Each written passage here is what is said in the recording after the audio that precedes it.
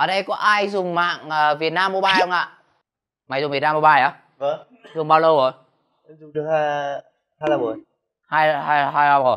Ồ, thế uh, cái uh, sim data 4G thì cũng có dùng Việt Nam Mobile không? Hay dùng mạng khác? Việt Nam Mobile luôn. Thế là dùng gói cước gì? Hai mươi tháng thấy tốc độ sóng sánh mọi thứ như nào? Ui, đi vào trong phòng kín nó không có sóng luôn. Ừ tốc độ mạng internet. Ờ, ở chỗ ở ngoài trời thì nó nhanh. Mạng nó thấy thế nào nó chán lắm à nó không ra cái gì cả. Thế em có dùng mạng khác nữa không? Em dùng Viettel mà có như Vinaphone ngon hơn. Ôi cảm ơn cái đầu gối nhá. Nói chuyện với em hữu ích hơn nhiều. Và hôm nay tôi sẽ review mạng Việt Nam Mobile bởi vì tôi sẽ so sánh với Vinaphone và Mobifone bởi vì đây là ba mạng tôi đã tốn tiền mua về test và mạng Việt Nam Mobile tôi có một cái nút. Tệ thật sự. Quá chán luôn. Nope. bắt đầu video nha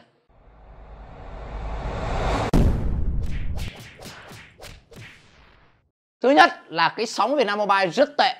Mình đã sử dụng trên cả một con iPhone và con Xiaomi 12T Pro Và kết cục là cứ đi xuống hầm chung cư B2 của mình Mất sóng. Tại sao mình lại đổi tại Việt Nam Mobile? Bởi vì mình lắp hai sim thì cái sim Viettel của mình bình thường. Và mình dùng nhiều máy thì kể cả Mobifone Vina của mình vẫn có sóng ít nhất nó có thể xuống H cộng. Đằng này mất sóng luôn. Và không chỉ dừng lại ở đấy mà khi mà mình sang cái uh, bên chỗ ờ, Vincom Phạm Ngọc Thạch mình xuống hầm gửi xe cũng mất sóng luôn. Và lên cao quá thì nó cũng mất sóng luôn. cái con này là các bạn phải ở lưng chừng kiểu như này. Chứ còn nếu mà các bạn đã lên cao hoặc xuống thấp thì kiểu gì các bạn mất sóng. Đây là một điều rất tệ. Nên mà không bao giờ chúng ta dùng Việt Nam Mobile làm sim chính để mà liên hệ với mọi người được. Tất nhiên cũng tùy theo điều kiện các bạn sống thôi. Còn đây là mình di chuyển nhiều thì mình có một nhận định như thế. Điểm thứ hai, chúng ta sẽ cùng nhau nói về cái giá trị của gói cước. Ở đây thì sim Việt Nam Mobile hay sim Mobifone và sim Vina mình đều mua gói một năm nhé các bạn. Chứ không phải đóng thêm tiền. Và con Việt Nam Mobile là rẻ nhất tiết kiệm khoảng 100.000 đồng so với sim Mobifone và như sim uh, Vinaphone thì thường đắt hơn một tí. Nhưng cái sự đánh đổi này của mình là không xứng đáng.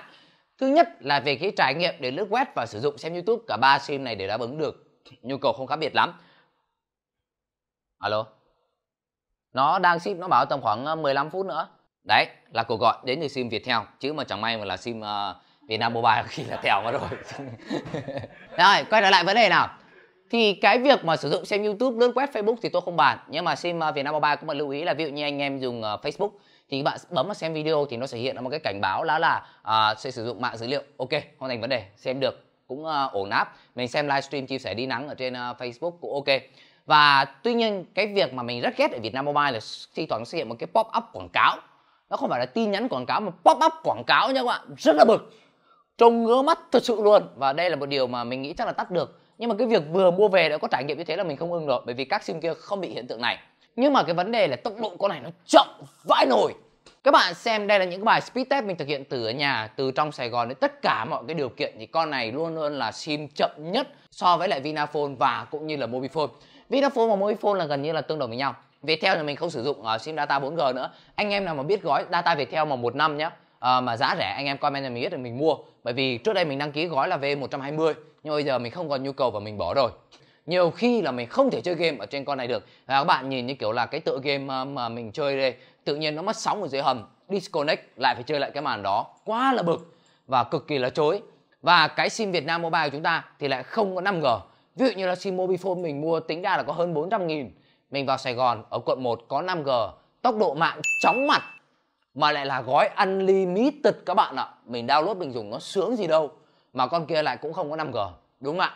Nên đây đều là những cái vấn đề mà mình thấy rằng là nói chung là mình mua cái sim này là tại mấy cái ông comment trên youtube này này.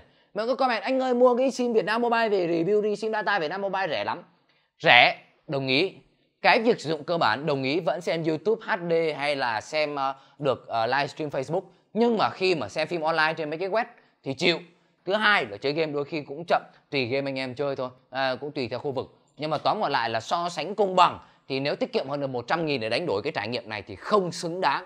Mình sẵn sàng bỏ thêm 150 nghìn nữa để mua những cái sim của Mobifone, Vina hay của Viettel để có trải nghiệm tốt hơn nhiều. Chứ cái cảm giác mà có data mà quá chậm ấy thì sẽ khiến anh em rất là ức chế và mất sóng nữa thì còn bực mình hơn. Và nào anh em hãy cho tôi thêm những cái gói cước hay những cái sim nào để tôi mua về review cho các bạn nhé còn chip này tôi chịu không dùng được nữa rồi hẹn các bạn các video lần sau Sin haze of life, sin haze of life, sin haze of life, haze haze.